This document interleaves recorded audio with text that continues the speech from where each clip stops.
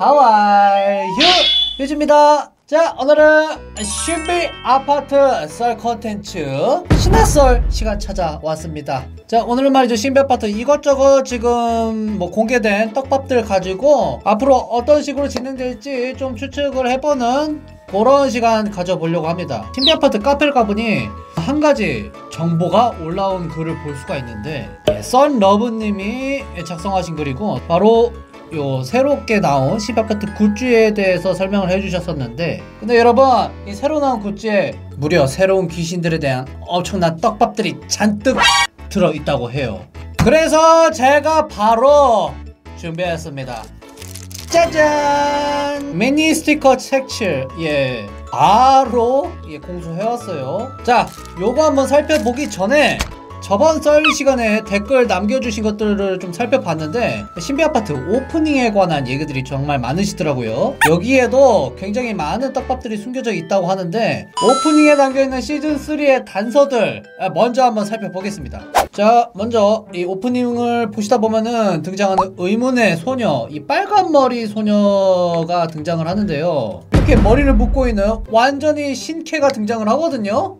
그래서 이 빨간 머리 소녀를 보고 여러분들이 많은 그 카페에서도 그렇고 좀 뭐 많은 추측들을 하셨는데 리오니의 여자친구다. 뭐 그런 얘기들이 좀 많았거든요. 근데 제가 봤을 때 뭐 여자친구는 아닐 것 같고 그냥 리오니를 좋아하는 동생 정도지 않을까 싶어요. 어쨌든 완전히 새로운 캐릭터인데 복장 자체가 아이기스랑 상당히 유사합니다 약간 색깔만 다른 느낌이에요. 이 여자애가 아이기스 소속일지 아니면은 아이기스와 굉장히 비슷한 단체일지는 음 그거는 좀 나와봐야 알 것 같고요. 우선은 겉으로 보기에는 리오니보다 어려 보입니다. 리오니 자체도 그 아이기스에서 최연소 테마사였는데 아마 이 빨간 머리가 이제 또 새롭게 또 최연소 테마사로 나오지 않을까 싶습니다. 뭐 일단 둘 중 하나일 것 같아요. 아이기스 소속이거나 아니면은 아이기스와 약간 반대되는 단체거나 예. 만약에 아이기스라면은 저 여자아이 혼자 왜 빨간색 옷을 입고 있을까요? 그리고 또 조만간 등장할 귀신이죠. 도플갱어의 모습도 나오고요. 도플갱어의 본 모습은 이렇습니다. 네. 그리고 이 빨간 머리의 능력 한번 또 보시면요. 어, 굉장히 또 특별한 기술을 씁니다. 자, 누군가한테 쫓기는데 무려 이 귀신의 정체는 바로 장산범이라는 귀신입니다. 우리나라 귀신인데 아직 뭐 딱히 언급을 안 된거 봐서는 약간 중반부나 후반부쯤에 나올 것 같거든요. 리오니와는 다르게 약간 빨간색 퇴마 기술을 사용을 하거든요. 마찬가지로 카드를 활용한 그런 퇴마 기술인데 이런 식으로 예, 기술이 발현이 되는 모습이 나오거든요. 이 아이의 정체 과연 뭘까요? 너무 궁금한데? 가은이가 나오거든요. 가은이의 모습이 나온 다음에 예, 이렇게. 루비 보석인가요? 루비 보석이 박힌 새로운 귀신 등장했습니다 또. 제가 봤을 때는 가은이가 나온 이후에 바로 이어서 나온 귀신이기 때문에 뱀파이어와 관련된 귀신이지 않을까 싶습니다. 어 포스를 보아하니 그 뱀파이어 관련된 몬스터나 귀신들 중에서는 가장 강력한 힘을 자랑하지 않을까 싶거든요 오 이런 식으로 번개 공격을 사용하는 모습. 아 계속 그리고 가은이의 모습이 나오는 거 보니까 이번 시즌 3에서 또 굉장히 핵심적인 인물이지 않을까? 그렇게 추측을 좀 해봅니다. 이게 그림자가 씌워져 있는데 흑화를 한다는 의미일까요? 아니면은 뭐 분신 같은 존재일까요? 그리고 그 가은이 뒤에 있는 의문의 실루엣.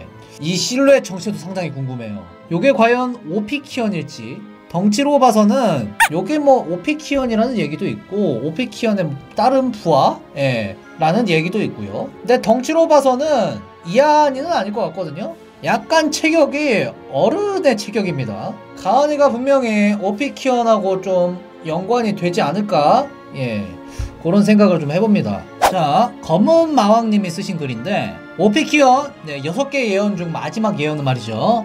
검은 영혼이 철의 심장에 깃들이라. 여기서 그 리오니가 오피키언에 대해서 설명을 했을 때 이렇게 형태가 없는 검은 결정체라고 얘기를 했었어요. 그래서 실체가 없는 그런 약간 영혼의 형태인 건데 철의 심장에 깃들이라. 이 철의 심장이란 거는 음 기계를 의미하지 않을까 싶어요 그렇기 때문에 이렇게 기계 해골 모양의 기계 손이 나오는 것 같고 그래서 조심스럽게 추측을 해보지만 여섯 번째 예언에 해당하는 귀신은 바로 최종 보스 오피키온일 것 같습니다. 그래서 결국에 오피키온의 최종적인 모습 같은 경우에는 이렇게 기계 로봇, 기계 인간의 형태를 어, 띄지 않을까 예, 조심스럽게 좀 추측을 해봅니다.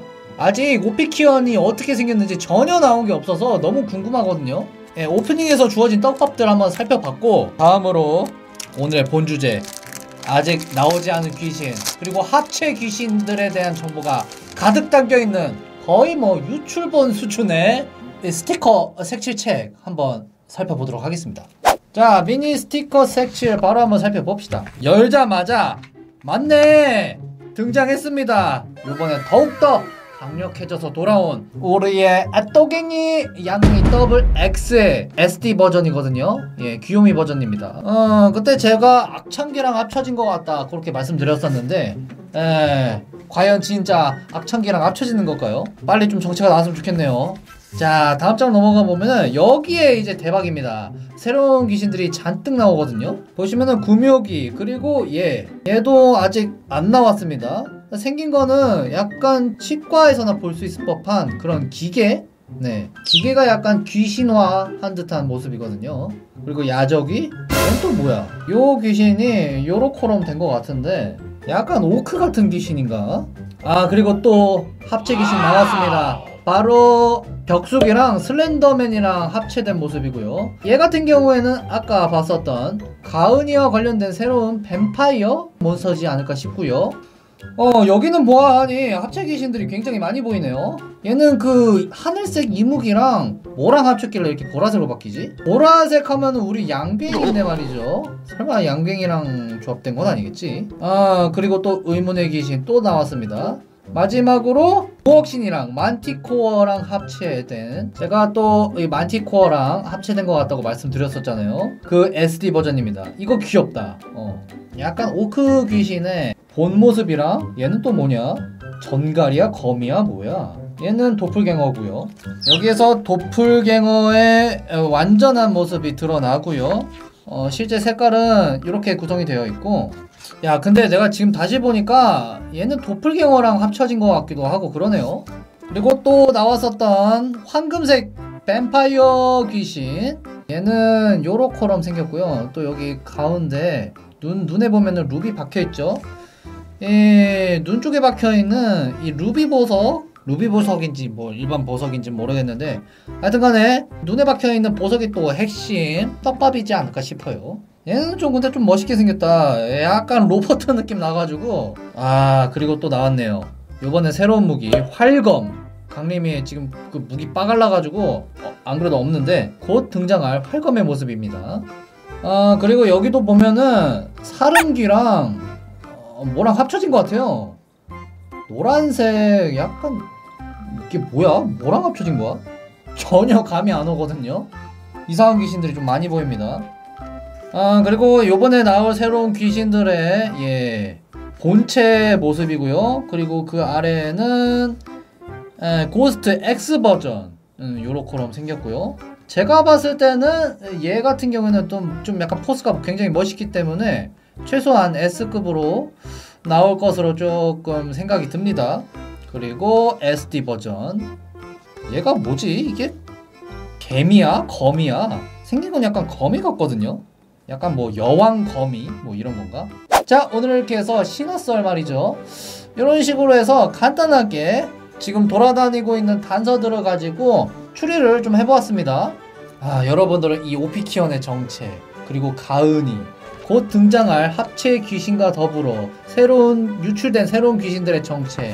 어떻게 생각하시나요? 좋아요 눌러주시고 댓글로 여러분들의 생각 궁금하거든요.